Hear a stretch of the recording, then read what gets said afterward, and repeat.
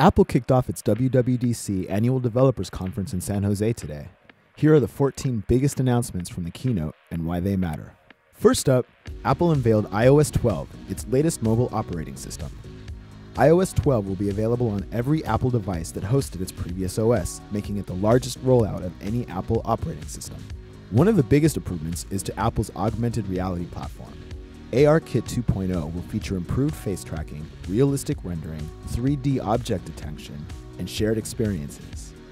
Apple showed off a new measuring app, as well as a Lego experience that allows multiple users to build virtual cities together. In addition, Apple announced its own file format for AR called USDZ. This file format will create a more streamlined approach to AR and lets developers share 3D models across all Apple devices. An overarching theme of today's keynote focused on improving the performance and efficiency of Apple devices.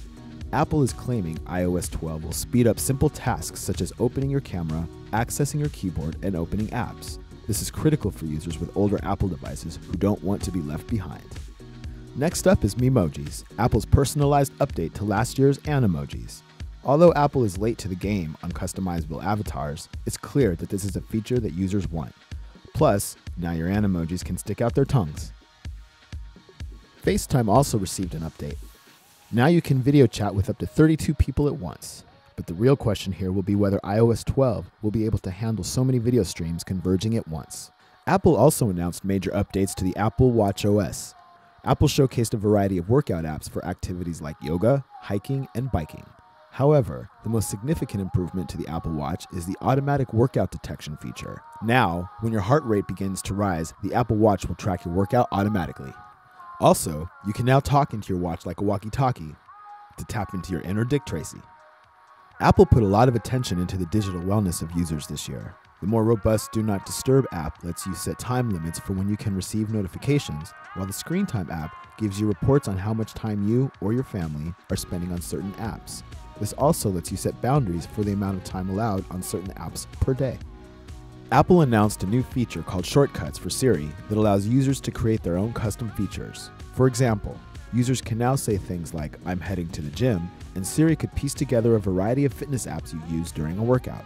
This is a big move for Apple, which has repeatedly been criticized for having the weakest voice assistant compared to Alexa and the Google Assistant. Apple introduced Mojave, which brings in a ton of incremental updates. Dark mode dims most of the elements on the screen, and updates to Finder make it easier to organize and stack files intelligently. Overall, Mojave brings a fresh take to the desktop experience and helps users declutter their desktops efficiently. Apple's Mac App Store is also getting a complete overhaul. Everything is now divvied up into tabs, and a new Discovery tab will help users find editorial content around Mac apps instead of aimlessly searching for new developer tools. All of this will make it easier for Apple to better understand what people are looking for and how they can tailor the App Store experience to each user. The Apple TV also saw some significant upgrades, particularly when it comes to how users sign into apps. Instead of entering in a username and password for every app, your Apple TV will remember all of these logins if you're connected to your home Wi Fi. Apple also made a significant audio upgrade to the Apple TV. tvOS 12 will now support Dolby's Atmos soundboard, the Dolby Audio upgrade makes the Apple TV the only streaming device to be both Dolby Atmos and Vision certified. Apple says CarPlay will now support third party navigation and mapping apps like Google Maps and Waze. This is a nice quality of life improvement that might make users a little more interested in using CarPlay. That's a wrap on the Apple WWDC keynote. Read more on TechCrunch.com.